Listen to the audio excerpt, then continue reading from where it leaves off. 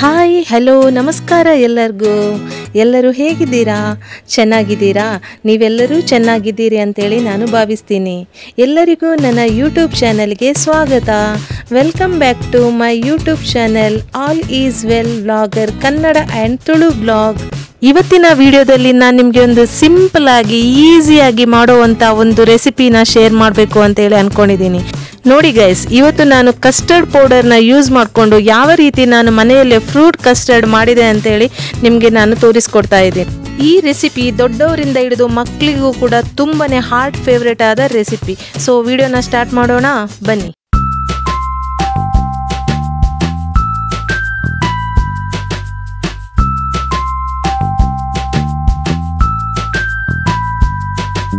ಮೊದಲಿಗೆ fruit custard ಮಾಡೋದಕ್ಕೆ ನಾನು ಇಲ್ಲಿ ಒಂದು ಪಾತ್ರೆಗೆ ಒಂದು ಕಾಲು ಲೀಟರ್ ಆಗುವಷ್ಟು ಗಟ್ಟಿ ಹಾಲನ್ನು ತಗೊಂಡಿದ್ದೀನಿ.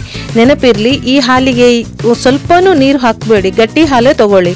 ಇದನ್ನು ನಾನು ಈಗ ಬಿಸಿ ಆಗೋದಕ್ಕೆ ಇಟ್ಟಿದ್ದೀನಿ. ಇದು ಬಿಸಿ ಆಗ್ತಿರ್ಬೇಕಾದ್ರೆ ಇವಾಗ ನಾನು ಕಾಲು ಲೋಟದಷ್ಟು ಹಸಿ ಹಾಲನ್ನು ತಗೊಂಡು ಅದಕ್ಕೆ ನಾನು ಒಂದು ಎರಡು ಸ್ಪೂನ್ ಇಲ್ಲಿ ಕಸ್ಟರ್ಡ್ ಪೌಡರ್ ಹಾಕಿದ್ದೀನಿ.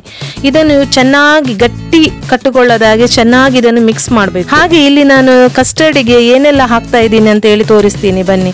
ಇಲ್ಲಿ ನಾನು ಒಂದು ಸ್ವಲ್ಪ ಗೋಡಂಬಿ ತಗೊಂಡಿದ್ದೀನಿ, ಹಾಗೆ ಒಂದು ಆ್ಯಪಲ್ ತಗೊಂಡಿದ್ದೀನಿ. ಅದರ ಜೊತೆ ನಾನು ಒಂದು ಇಲ್ಲಿ ಸ್ವಲ್ಪ ಸಾಬೂದಾನ್ ತಗೊಂಡಿದ್ದೀನಿ. ಅಂದರೆ ನೀವು ಅಂದರೆ ಸಬ್ಬಕ್ಕಿ ಗೊತ್ತಾಯ್ತಲ್ವಾ? ಸಬ್ಬಕ್ಕಿ ಮತ್ತು ಅವರೆಕಾಳನ್ನು ಜೊತೆಯಾಗಿ ಇಲ್ಲಿ ಬೇಯಿಸಿಟ್ಕೊಂಡಿದ್ದೀನಿ. ಸ್ವಲ್ಪ ಒಂದು ಕಾಲು ಕಪ್ ನಾನು ಇಲ್ಲಿ ಸಕ್ಕರೆ ತೊಗೊಂಡಿದ್ದೀನಿ. ಒಂದು ದಾಳಿಂಬೆ ತಗೊಂಡಿದ್ದೀನಿ. ಅದನ್ನೆಲ್ಲ ಬಿಡಿಸಿ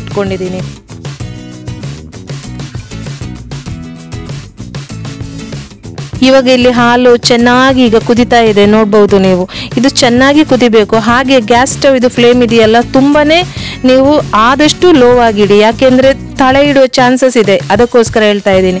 ಮೊದಲೇ ಇದು ತಳೆ ಏನಾದರೂ ಹಿಡಿತಂತೇಳಿ ಅಂದ್ಕೊಳ್ಳಿ ಈ ರೆಸಿಪಿನೇ ಫುಲ್ಲು ಚೇಂಜ್ ಆಗುತ್ತೆ. ಒಂಥರ ಸ್ಮೆಲ್ ಬರುತ್ತೆ. ಅದಕ್ಕೋಸ್ಕರ ಹೇಳ್ತಾ ಇದ್ದೀನಿ. ಆಯ್ತಾ? ಇದು ಚೆನ್ನಾಗಿ ಕುದಿ ಬಂದಮೇಲೆ ನಾನು ಇಲ್ಲಿ ಈಗ ಸಕ್ಕರೆಯನ್ನು ಹಾಕ್ತಾ ಇದ್ದೀನಿ. ಇದನ್ನು ಕೂಡ ಚೆನ್ನಾಗಿ ಇಲ್ಲಿ ನಾವು ಬೆರೆಸ್ಬೇಕು. ಇಲ್ಲಿ ಫುಲ್ ಮಿಕ್ಸ್ ಮಾಡಬೇಕು ಸಕ್ಕರೆನ. ಸಕ್ಕರೆ ಎಲ್ಲ ಚೆನ್ನಾಗಿ ಹಾಲಲ್ಲಿ ಕರಗಿದ ಮೇಲೆ ಇವಾಗ ನೋಡಿ ನಾನು ರೆಡಿ ಮಾಡಿಟ್ಟಂತಹ ಈ ಕಸ್ಟರ್ಡ್ ಪೌಡರ್ ಮಿಶ್ರಣವನ್ನು ಇದಕ್ಕೆ ಸೇರಿಸ್ಕೊಳ್ತಾ ಇದ್ದೀನಿ. ಈ ಕಸ್ಟರ್ಡ್ ಮಿಶ್ರಣವನ್ನು ಹಾಕಿದ ಮೇಲೆ ನೋಡಿ ಈ ಥರ ಸೌಟನ್ನು ಹಾಕ್ತಾನೆ ಇರಬೇಕು. ಯಾಕಂದರೆ ಅದು ಗಟ್ಟಿ ಆಗುವ ಚಾನ್ಸಸ್ ಇರುತ್ತೆ, ಗೊತ್ತಾಯ್ತಾ? ತಳ ಹಿಡಿಯೋ ಹಿಡಿದ್ರಂತೂ ನಾನು ಮೊದಲೇ ಹೇಳಿದ ಹಾಗೆ ರೆಸಿಪಿನೇ ಫುಲ್ಲು ಹಾಳಾಗಿ ಹೋಗುತ್ತೆ. ನೋಡಿ, ಇವಾಗ ನೋಡಿ ಎಷ್ಟು ಥಿಕ್ನೆಸ್ ಬರ್ತಾ ಇದೆ ನೋಡಿ. ಹೀಗೇನೆ ಒಂದು ಹತ್ತು ನಿಮಿಷವರೆಗೂ ಇದನ್ನು ಹಾಗೇನೆ ಚೆನ್ನಾಗಿ ಇದನ್ನು ಬೇಯಿಸಬೇಕು. ನೋಡಿ, ಇಲ್ಲಿ ಕುದಿ ಬರ್ತಾ ಇದೆಯಲ್ವಾ? ಇಷ್ಟ ಆದರೆ ಸಾಕು. ಇದು ಇವಾಗ ತುಂಬಾನೇ ಬಿಸಿ ಇದೆ. ಇದನ್ನು ಬಿಸಿ ಆರಿದ ಮೇಲೆ ಸ್ವಲ್ಪ ಹೊತ್ತು ಫ್ರಿಜ್ಜಲ್ಲಿ ಇಡಬೇಕು. ಇವಾಗ ಇದು ಚೆನ್ನಾಗಿ ಫುಲ್ಲು ಕೂಲಾಗಿದೆ ಇದಕ್ಕೆ ಈಗ ನಾನು ಎಲ್ಲ ಇಂಗ್ರೀಡಿಯೆಂಟ್ಸ್ ಎಲ್ಲ ಹಾಕ್ತೀನಿ. ನೋಡ್ಬೋದು ನೀವು. ಇಲ್ಲೆಲ್ಲ ನಾನು ರೆಡಿ ಮಾಡಿ ಇಟ್ಕೊಂಡಿದ್ನಲ್ವಾ ಅದನ್ನು ಒಂದೊಂದಾಗಿ ಎಲ್ಲಾನು ಇದಕ್ಕೆ ಹಾಕ್ತೀನಿ ನೋಡಿ. ಇದನ್ನು ಇವಾಗ ಚೆನ್ನಾಗಿ ಎಲ್ಲ ಮಿಕ್ಸ್ ಮಾಡಬೇಕು. ಈ ಫ್ರೂಟ್ಸು ಸಾಬುದಾನಿ ಇದೆಲ್ಲ ಹಾಕಿದ್ದೀನಲ್ವಾ? ಇದೆಲ್ಲ ಇದರಲ್ಲಿ ಚೆನ್ನಾಗಿ ಹೊಂದಿಕೊಳ್ಬೇಕು. ಅಷ್ಟರವರೆಗೆ ಇದನ್ನು ಚೆನ್ನಾಗಿ ಮಿಕ್ಸ್ ಮಾಡುವ.